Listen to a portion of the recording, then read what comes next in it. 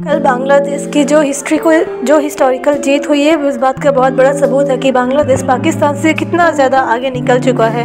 यह वही यह वही बांग्लादेश है जिसे पाकिस्तान उन्नीस सौ इकहत्तर से पहले और उससे भी पहले बहुत दिन तक इन लोगों के ऊपर जुल्म ढाया है, क्योंकि यहाँ के लोग थोड़े से कम सुंदर और इनको बांग्ला आती थी। पाकिस्तानी चाहते थे कि पूरे उनके देश में सिर्फ़ उर्दू ही बोली जाए। बांग्लादेश पाकिस्तान का एक छोटा सा हिस्सा हुआ करता, जैसे हमारे देश में M UP Maharashtra like this ये स्टेट था है, वहाँ का। बांग्लादेश और पाकिस्तान का झंडा कितना ज़्यादा एक दूसरे से मिलता जुलता है। एक्चुअली ये उन्नीस सौ इकहत्तर से पहले एक ही देश हुआ करते थे। जो बांग्लादेश है वो पाकिस्तान का एक राज्य हुआ करता था, जैसे हमारे देश का उत्तर प्रदेश एमपी यूपी इस इस टाइप का। तो पाकिस्तान बांग्लादेश को इसलिए पसंद नहीं करता था क्योंकि बांग्लादेश के लोग कम सुंदर हुआ करते थे। बांग्लादेश की मेजॉरिटी पीपल को बंगला आती थी, इस वजह से इस देश का नाम बांग्लादेश पड़ा। लेकिन पाकिस्तान के लोग चाहते थे कि हमारे पूरे राज्य में सिर्फ़ उर्दू ही बोली जाए। क्योंकि बांग्लादेशी को बांग्ला आती थी उर्दू ने नहीं आती थी और वहाँ के लोग कम सुंदर हुआ करते थे सामले होते थे। लेकिन पाकिस्तान उन्हें इसीलिए पसंद नहीं करता था क्योंकि वहाँ के लोग कम सुंदर थे।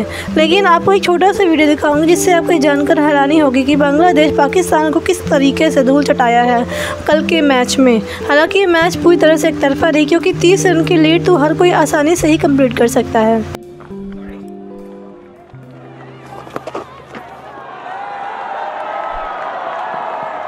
Is gone to create history. And they're all up in the stand standing and applauding the two youngsters who will remember this. ये है पाकिस्तान के कैप्टन मिस्टर बाबर आज़म इनके जो रिकॉर्ड हैं, वो छोटे खिलाफ उनके छोटी टीम के खिलाफ ज़्यादा अच्छे हैं, पर बड़ी टीम्स के खिलाफ ये कभी चल नहीं पाते इस टेस्ट मैच में भी इनका कुछ खास रिकॉर्ड नहीं रहा ये पाँच दिन के टेस्ट मैच में ये मैक्सिमम ज़ीरो पर ही आउट होते हैं। इन, ये एक ऐसे कैप्टन हैं जिनको सबसे ज़्यादा क्रिटिसाइज़ किया गया खुद पाकिस्तानियों के द्वारा और उनकी मीडिया के द्वारा। लेकिन इनको जो प्लेयर्स हैं, इनके बीच में भी बहुत खटपट बनी रहती है। इनके टीम्स में कोई यूनिटी नहीं है। इनका कैप्टन हर दिन बदलता रहता है। कभी बाबर आज़म होंगे तो कभी शान मसूद तो कभी कोई और होता ही रहेगा। तो इनका जो मैच है, वो काफ़ी अच्छा नहीं है। बहुत बुरा चल रहा है इनका टाइम बाबर आज़म जो कि बहुत बड़ा जाना माना नाम रहे हैं, पाकिस्तानी प्लेयर्स के हिसाब से, लेकिन उनका करियर कुछ खास नहीं रहा है, जो कि इतना इनको एक्सपीरियंस हो चुका है पाकिस्तान में आने का, पर वो अकेले दम पर कभी कोई मैच नहीं जीता पाए।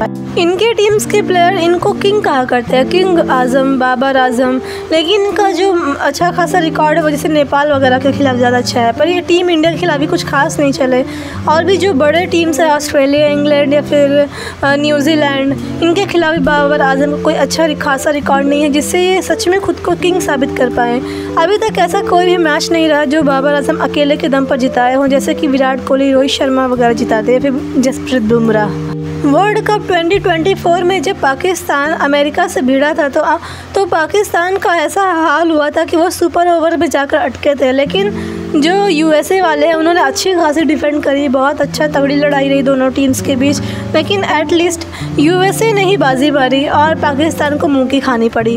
पाकिस्तान के बॉलर वाइट पे वाइट दे रहे थे और बाबर आज़म कुछ नहीं कर पा रहे थे और उनका जो रन था कुछ खास नहीं रहा और इस वजह से यूएसए जीत गई। इसका भी एक छोटा सा वीडियो मैं आपको ज़रूर दिखाऊँगी।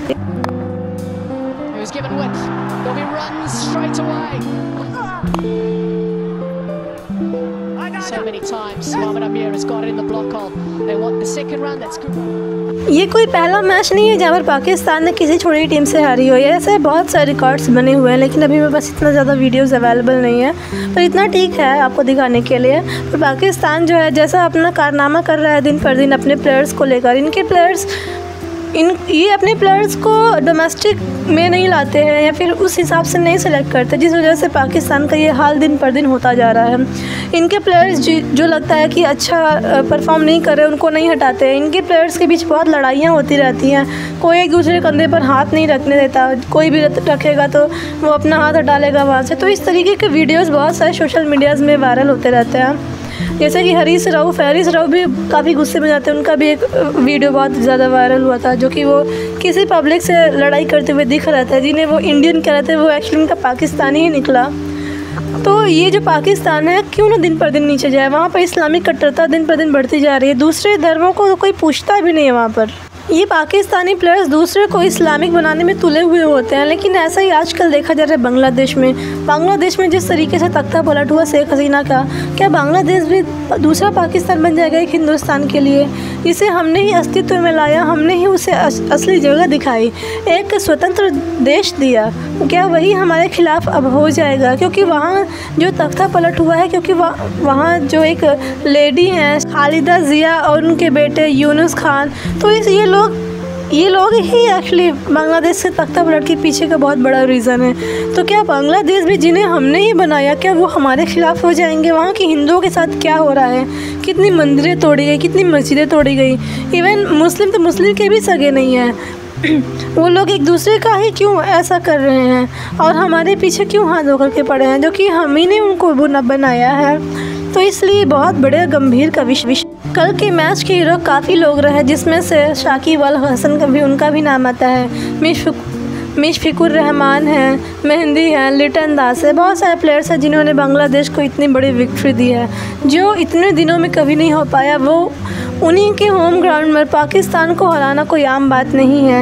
एक समय पाकिस्तान में बहुत जानी मानी टीम थी, बहुत स्ट्रॉन्ग टीम थी। इवन उसे इंडिया तक नहीं जीती थी ऐसी टीम थी।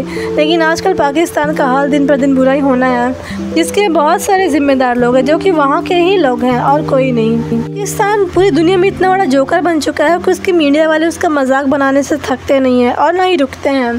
खैर, ये तो बहुत आम बात हो गई, लेकिन जिस तरीके से बांग्लादेश ने उन्हें हराया, पूरा का पूरा मैच पूरा वन साइडेड था। यू नो इतना अच्छा उनका इनिंग रहा। इतने ज़्यादा रन बने फास्ट पिच थी, जो कि पाकिस्तान में कोई स्पिनर्स नहीं थे, कोई पेसर्स नहीं थे, लेकिन इस चीज़ का फ़ायदा बांग्लादेशी ने अच्छा खासा उठाया है। और उनको, उन्होंने तो बार बार आज़म को ज़ीरो पर ज़ीरो ही आउट करना था। लेकिन लास्ट डे वो थोड़ा सा चले और अपने पाकिस्तान की नाक कटाने से बचाए। लेकिन ये बहुत अच्छा स्टार्ट नहीं रहा है। पर जो बड़े प्लेयर्स होते हैं, उनका जो करियर है, वो मुश्किल पिचेस पर, मुश्किल मैचेस पर इवन जब टीम अच्छी खासी ना परफॉर्म करे, तब देखी जाती है।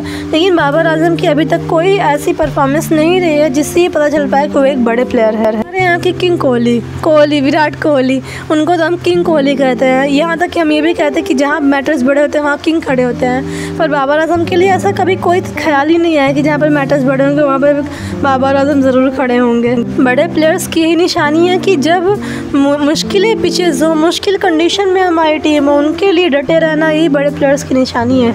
इनके, इनकी पर्सनल लाइफ में और इनके प्रोफेशनल लाइफ में इनके मीडिया का बहुत बड़ा हाथ रहा है।